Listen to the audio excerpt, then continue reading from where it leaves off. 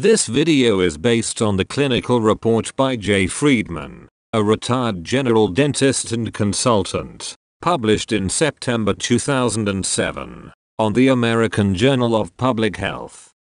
Read the full article through the link below this video. Modern dentistry has its root in the Roman Greek pharmakia, the Roman Greek witchcraft. Each year, 5 million Americans spent $3 billion to remove their pathology-free wisdom teeth. Over 11,000 Americans are suffering from permanent paresthesia, numbness of the lip, tongue, and cheek, as a consequence of nerve injury during the wisdom teeth removal surgery. At least two-thirds of these extractions, associated costs, and injuries are unnecessary. Take a look at the lying myths invented by greedy dentists to mind control us for their profit. Myth number 1. Wisdom teeth have a higher incidence of pathology. The fact is, less than 12% of impacted teeth have associated pathology. Myth number 2. Removal of all wisdom teeth in adolescence is less traumatic. The fact is, early removal is more traumatic and painful than leaving asymptomatic, non-pathologic teeth in situ. Persons of 35 to 83 years old have the lowest complication risk. Myth number 3. Pressure of erupting wisdom teeth causes crowding of anterior teeth. The fact is, it is impossible for lower wisdom teeth which develop in the spongy interior cancellous tissue of bone with no firm support, to push 14 other teeth, with roots implanted vertically like the pegs of a picket fence, so that the incisors in the middle twist and overlap. Myth number 4. The risk of pathology in impacted wisdom teeth increases with age.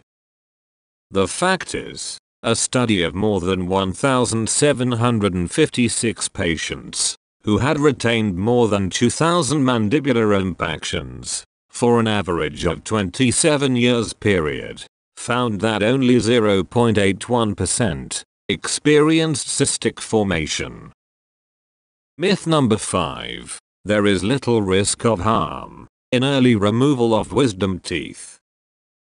The fact is, over 11,000 Americans are suffering from permanent paresthesia, numbness of the lip, tongue, and cheek, as a consequence of nerve injury during the wisdom teeth removal surgery.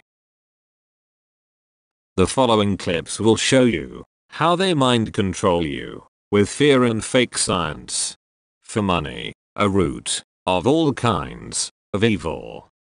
Hi, this is Dr. Drew. My experience has been that uh, most always wisdom teeth cause uh, more problems than they do good when they're left in the mouth.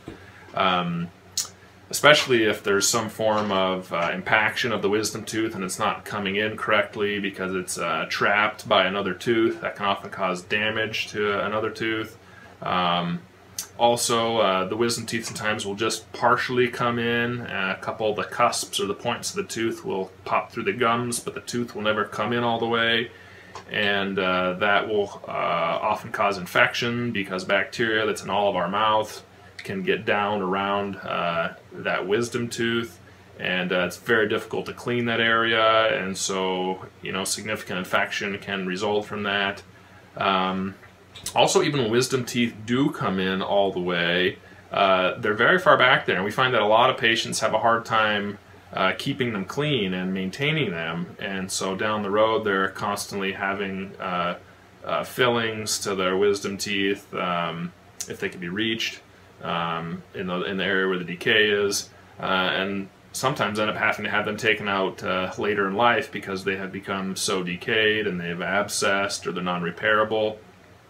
Um, so I'm of the opinion that uh, you know, usually it's a good idea to have wisdom teeth removed at a, at a young age. For most people, there's just not enough room at the back of the mouth for the wisdom teeth to come in to become useful and productive members of society.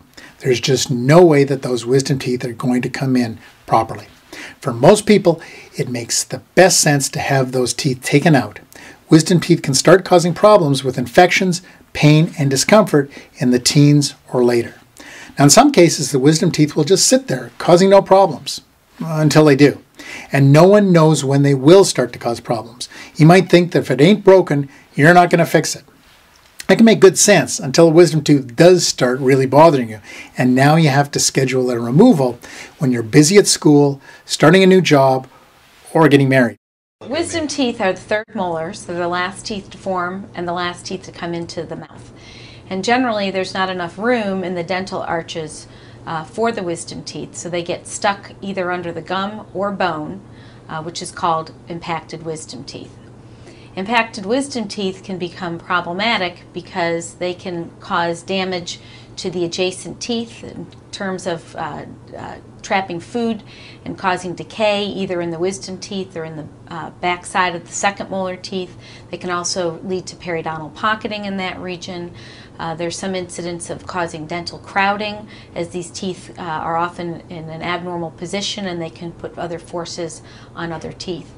Um, generally, the symptoms um, that people have associated with wisdom teeth are some pain and swelling in the in the region, um, and uh, usually these are self-limited infections, although they can become quite troublesome at times.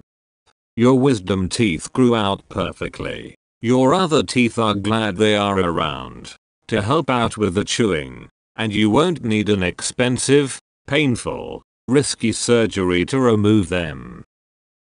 The British National Institute for Clinical Excellence recommend this. The practice of prophylactic removal of pathology-free impacted third molars should be discontinued. There is no reliable evidence to support a health benefit to patients from the prophylactic removal of pathology-free impacted teeth.